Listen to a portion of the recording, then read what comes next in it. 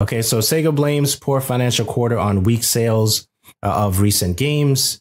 Uh, so I think that's probably going to be considered a quick hit. Any thoughts on that? What are Sega's recent games? Would you say? Besides, you know, Sonic and and some Sonic of the Yakuza stuff. Yeah, and then they dropped the Yakuza stuff. Yeah. I mean, I think the Yakuza thing is a little bit of a niche market with the with kind of the turn-based stuff going on with the Infinite Wealth game.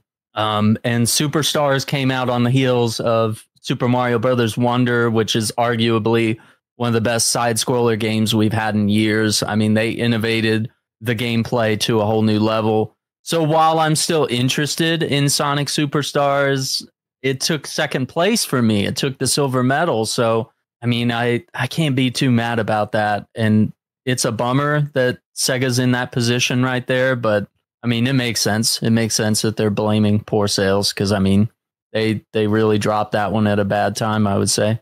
Yeah, timing is always important. We've seen that with a lot of games in the past. Don't put anything around Call of Duty. Okay, you're not going to do well. No. right? Just just don't ever do that. Okay? So it's a it's a suicide literally. Okay? So so speaking of that,